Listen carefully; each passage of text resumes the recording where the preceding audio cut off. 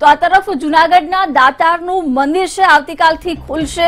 આવતીકાલથી ધાર્મિક સ્થાનો ખુલી રહ્યા છે, ત્યારે જુનાગઢના ઉપલા દાતારનું મંદિર પણ આવતીકાલથી ખુલશે. દાતારની જગ્યાને સેનેટાઈઝ કરવામાં આવી છે. ખાસ નિયમો ભક્તોએ પાળવવાના રહેશે, માસ્ક અને સેનેટાઈઝર પણ ફરજિયાત રહેશે.